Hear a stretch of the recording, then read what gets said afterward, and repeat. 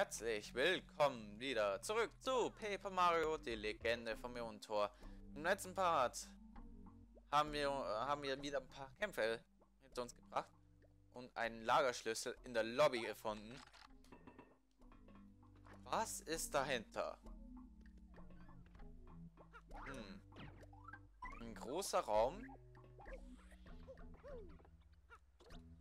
Ein paar Kisten. Eine große Kiste. Vielleicht ist da etwas. Oh, aber... Wa was ist das denn? Samun und Marono. Oh. Was ist denn da passiert? Und da ist übrigens Sternsplitter.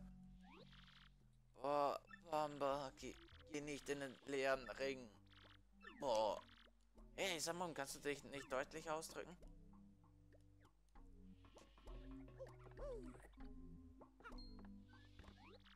Boah, hast du gesehen, das war das nicht trotz was in aller Welt hat das nun wieder zu bedeuten.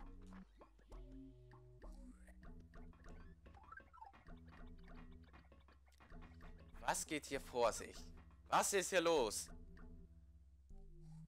Die verschollenen Kämpfer, die waren die ganze Zeit im Lager, sind geplättet. Irgendetwas ist hier faul. Sagt mir mein Gefühl.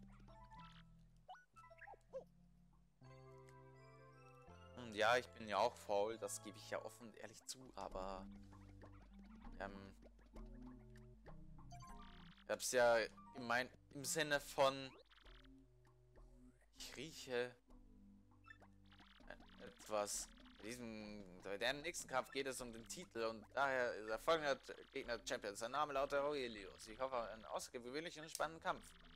Folgende Kampf solltest du mindestens eine Sternattacke nutzen. Ein echter dreimal braucht Höhen und Tiefen. Bring uns also ein Highlight.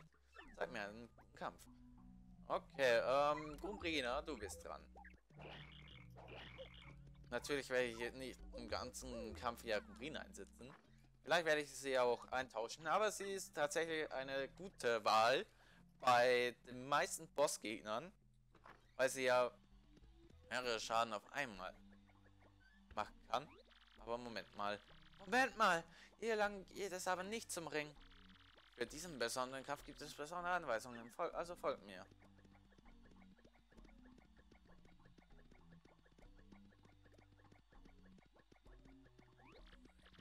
Hey, wo bringst du uns denn hin?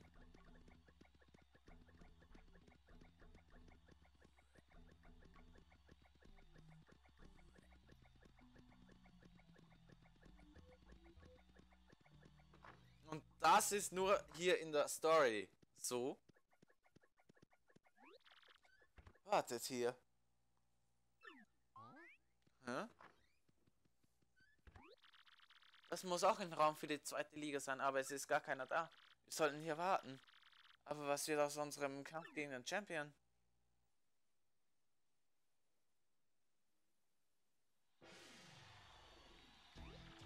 Kommen wir nun zum Hauptevent dieses Abends. Oh Gott. Bomber Luigi, derzeit auf Rang 1 der ersten Liga, trifft endlich auf unseren Champion Aurelius. Begrüßen wir zunächst das wandelnde Kraftwerk Aurelius. Champion! Maxi Blatt! Boah, geil! Muskeln! Aurelius, unser Champion, bereit für den Kampf? Ein Herausforderer ist ein gefährlicher Gegner. Es gibt nur einen Champion, das bin ich. Also, wo soll dieser bärtige Knum Luigi doch versuchen, mich zu besiegen? Mache Blatt. Aber bisher hat es noch niemand so schnell auf Rang 1 der ersten Liga geschafft. Bombe ist also schnell aufgestiegen als du selbst, Aurelius. Oh, was heißt das schon? Ich werde hier und heute be unter Beweis stellen, dass ich die Nummer 1 bin. Das dauert aber ganz schön lange. Ich gehe mal fragen. Mario, das ist... Die Tür ist abgeschlossen. Die haben uns eingesperrt. What the fuck? Begrüßen wir nun den Herausforderer, den hämmernden Henker, Bomber Luigi. Ähm... Es scheint ein Problem zu geben. Wo bleibt Bomber? der hat sich aus Angst vor mir irgendwo versteckt. Was für ein Drama. Sollte Bomber Luigi, Luigi tatsächlich verschwunden sein, wenn er nicht unverzüglich im Ring erscheint, wird der Champion Aurelius kampflos zum Sieger erklärt. Kampflos? Ich habe irgendwie das Gefühl, dass er seine Finger wieder mal im Spiel hat. Wenn wir nicht im Ring erscheinen, wird der Kampf als Niederlage für uns verbucht. Also müssen wir irgendwie hier rauskommen. Und dieses Areal kann man, glaube ich, auch nicht mehr betreten. In der Story. Also schön umsehen. Aber ich glaube, hier gibt es nichts Besonderes. Da ist auch so ähnlich wie in der ein, wie bei den anderen Garderoben. Und hier ist ein Peach-Poster aus irgendeinem Grund. Und das führt uns zu diesem seltsamen Raum hier. Da kann man anscheinend, wo man anscheinend Poker spielen kann. Kommt man hier raus. Das heißt, es ist eine Art Verbindung. Darüber.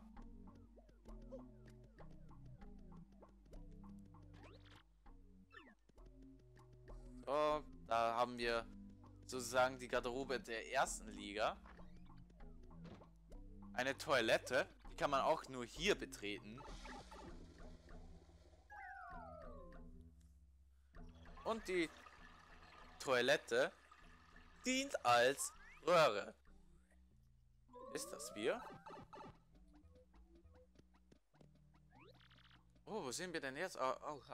Egal. Hauptsache wir kommen schnell zum Ring. Okay, ähm, Gumbrina. Bitte.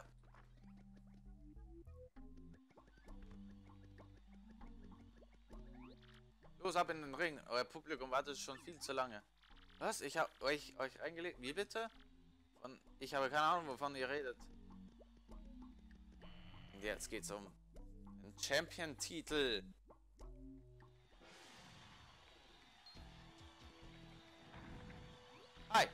Es hat lange gedauert, aber da ist er endlich. Bomber Luigi. Ja, ich war gerade kacken. Bomber. Wir haben es gerade noch geschafft und das Publikum jubelt dir zu. Schnell gehen wir hoch in den Ring. Gib's ihm. Yay, er hat's geschafft. Er ist pünktlich. Oh, was für eine Begrüßung für den Herausforderer Bomber Luigi. Wird unser Champion Aurelius den Bärtigen Barbaren besiegen können? Wir erwarten mit Spannung den schicksalshaften Kampf. Endlich der Gong. Und jetzt kommt meine Lieblingsbossmucke. Mario, endlich kämpfen wir gegen den Champion. Machen wir ihn fertig. Hm, er hätte besser eingeschlossen bleiben sollen. Was? Du hast also die Wache dazu überredet, uns einzuschließen? Genau, und ich habe euch auch den vergifteten Kuchen geschickt. Ich mache jeden fertig, der sich mir in den Weg stellt. Verlasst euch drauf. Dann hast du also auch das Sternewild versteckt und uns diese Drohungen geschickt. Was? Davon weiß ich nichts. Sternewild? Nie gehört. Aber was auch immer. Besonders fair bin ich zu manchen wirklich nicht. Aber Skepter bin ich auch ohne Tricks nass. Ich werde euch im Hand umdrehen und Kleinholz hacken. Gumbrina, kannst du mir irgendwas äh, über diesen Lappen da erzählen? Ja klar, warte mal, ganz kurz. Also, das ist Aurelius. Seine Luftangriffe sind an der Klasse für sich. Max sagt W40, Angriffskraft 4, keine Verteidigung. Bisschen von den Luftangriffen hat er wohl keine besonderen Spezialitäten. Aber ich denke, wir sollten uns auf einen harten Kampf gefasst machen. Nimm dich lieber in Acht, Mario. Ja, ich charge mir mal ganz kurz, ne? Wow! Das war nicht schlecht. Ich habe auch ein paar starke Angriffe im Ärmel. Mein guter.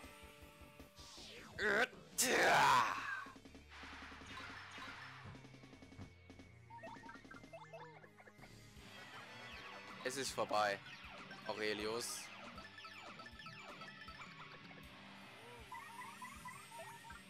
Wenn du meinst, du kannst mich besiegen, dann hast du dich aber geschnitten.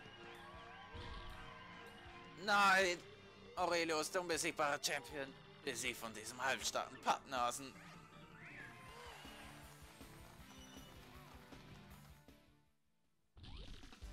Oh. Er hätte diese Entwicklung voraussehen können. Ein Wunder, wahrhaftig. Eleganz und Kraft, Kraft und Eleganz.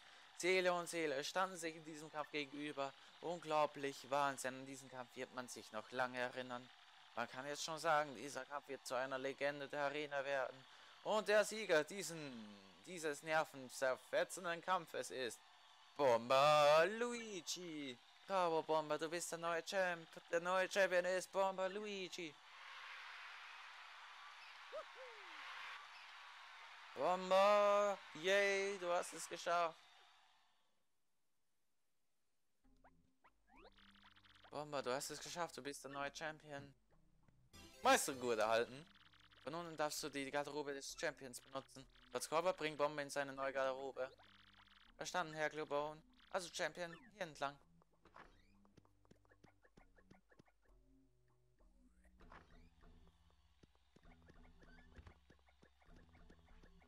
Jetzt habe ich eine Luxus-Suite.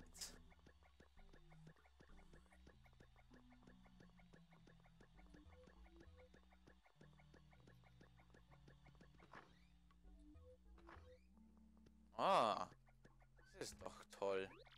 Mein herzlichen Glückwunsch, Champion. Von heute an darfst du diese Garderobe benutzen. Sie gehört dir ganz allein. Mach es dir bequem. Ich verabschiede mich zunächst. Also, bis dann und ciao. Jo.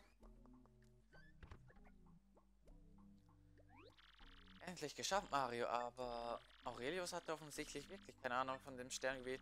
Wir wissen also immer noch nicht, wo das echte Sternjuwel ist. Mario, hörst du da auch diese seltsamen Stimmen?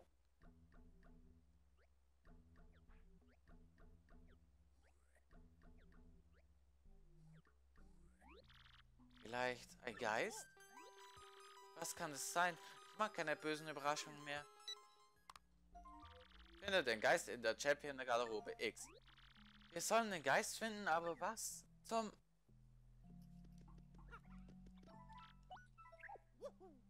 Yay, wir sind endlich Champion. Aber wo ist das Sternjuwel? Das ist hier die Frage. Ist er ein Haufen Fanpost, eine Hantel? Alles, was man eigentlich nicht wirklich ja, braucht. Es gibt nur eins wir untersuchen müssen. Und zwar das hier. Nur so können wir da hinein. Ein Lüftungsschacht, ich frage mich, wohin der wohl führt. Oh, sowieso Gumbrina.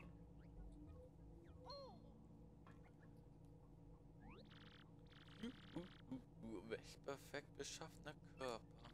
Der macht mich für immer wunderschön. Diesmal muss ich sehr vorsichtig vorgehen, weil ich habe mich schon in dieser Marono erwischt.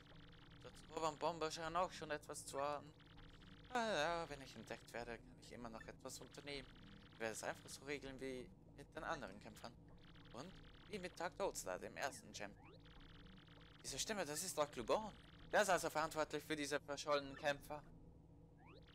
Ich muss dieses Zimmer sorgfältig verschließen. Und diese Unterlagen werde ich in meinem Schreibtisch verstecken. Aber es wird immer schwieriger, fähige Kämpfer zu finden. Sogar Aurelius hat gegen Bombe verloren. Es wird langsam Zeit, auch rauszulöschen für mich.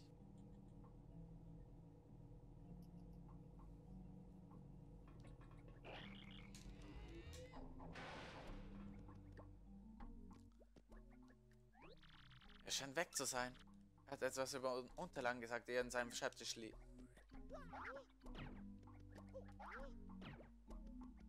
Aha, das ist... Das ist übrigens Sternsplitter. Auch böse versteckt. Da ist auch einer. Mehr gibt es, glaube ich, hier nicht. Und hier gibt's... Das müssen diese Unterlagen sein. Wir sollten sie genau lesen. Unter dem Ring gibt es also eine Maschine, die, für die man das Sternjuwel braucht. Hier ist sogar eine Funktionsskizze. Genau verstehe ich das nicht, aber das Sternjuwel scheint die Triebkraft zu sein. Die Maschine ist anscheinend in der Lage, einer Person die Energie zu entziehen. Vielleicht sind die Amarone und Samun auch von dieser Maschine ausgesaugt worden. Hi. Also. Hey, wie seid ihr hier reingekommen? Und ihr habt die geheimen Unterlagen gelesen?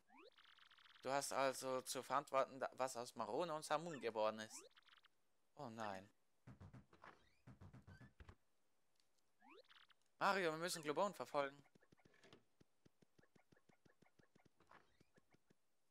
Was? Globon zu verbergen. Werden das noch in diesem Part erfahren.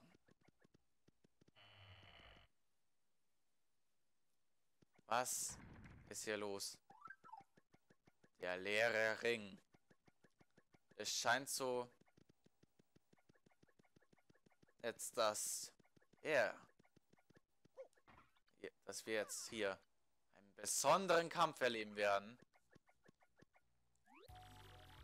Bist wirklich ein Volltrottel, mich bis hierher zu verfolgen. Und da du hinter mein Geheimnis gekommen bist, muss ich dich leider vernichten. What the fuck is jetzt going on here?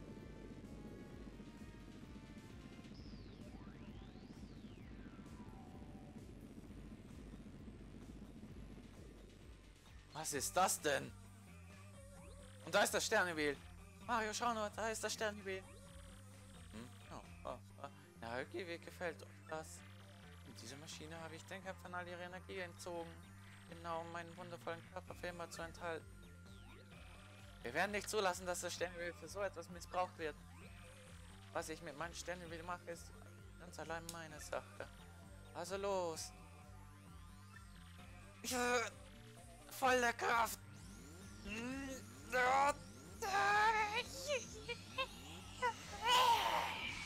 Oh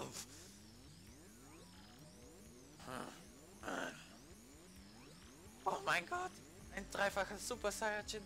Das gibt's nicht. Ich werde euch zermalmen, daraus neue Energie für mich gewinnen.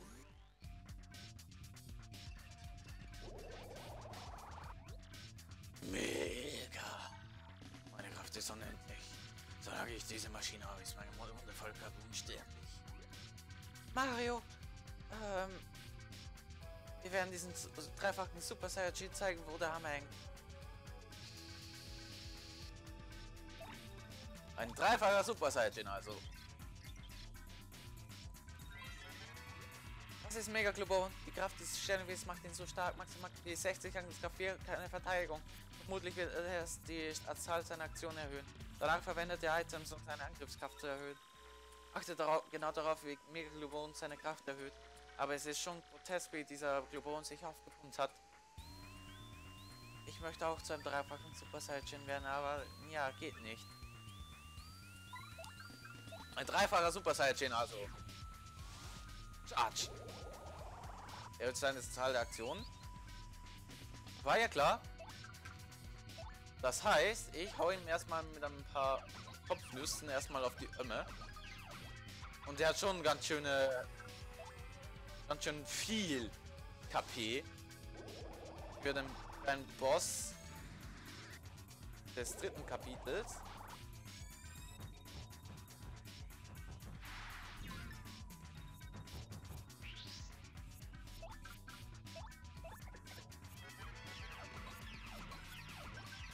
Aber wir kriegen das hin.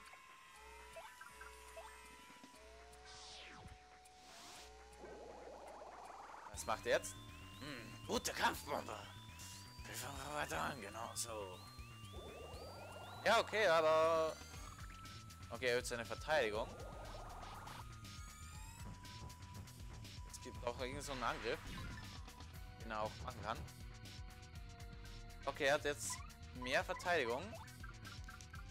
Kraftpunsch könnte eventuell sehr gut hilfreich sein gegen ihn. Jetzt bin ich auch mega.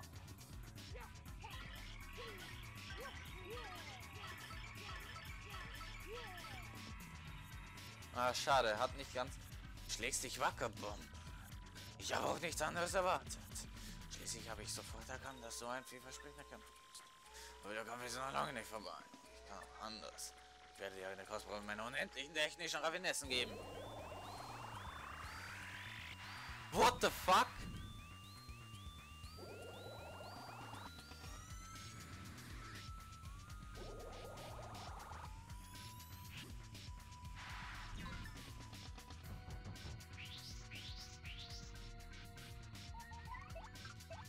Jetzt reicht's mir aber.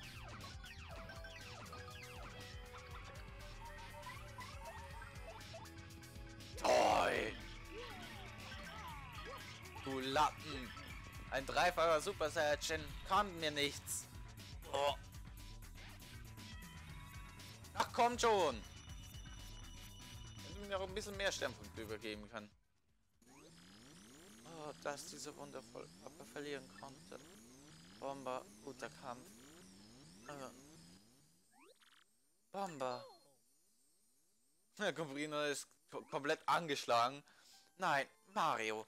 Danke, dass du diesen Kerl erledigt hast. Trotz Kurva. Entschuldigt bitte, dass ich euch damit hineingezogen habe.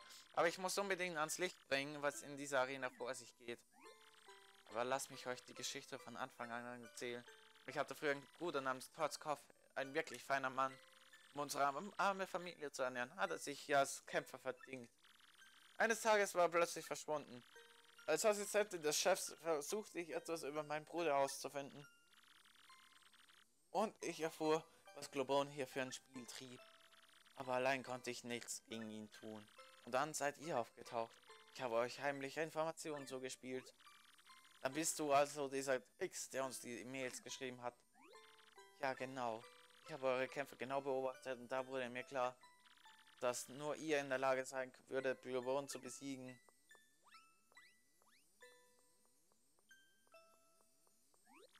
Herr Globon, was? Nein, Schluss mit dem geheuchelten Respekt. Globon, was hast du mit meinem kleinen Bruder gemacht? Oder vielmehr, was ist aus dem ehemaligen Champion Dark Toadster geworden? Dark Toadster ist hinter das Geheimnis meiner Maschine gekommen. Deshalb musste ich ihn auslöschen. Du wirst ihn nicht finden, so sehr du auch suchst. Hm. Ich wusste es. Oh, Totzkopf. Sie war immer so nahbar, dabei hat sie nur ihren geliebten Bruder gesucht. Mario, Sino, der Sternenjuwel. Und ich liebe diese Melodie einfach so sehr. Gib mir immer wieder Gänsehaut. Und da ist er! Oh, ist das hier die Arena? Totzkopf! Oh, Schwesterchen, was machst du denn hier? Also, ich bin schon gut, Totzkopf. Es ist vorbei, alles ist okay. Das war also die Macht des Sternewähls. Also da, Mario, das Sternenweg gehört dir.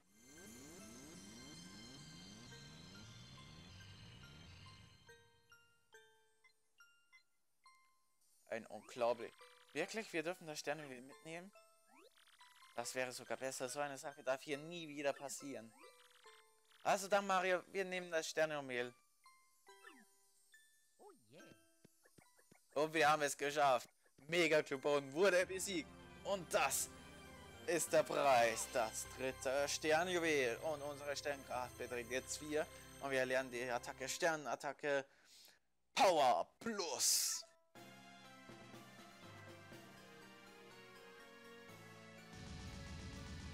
Eine wirklich praktische Attacke, wie ich finde.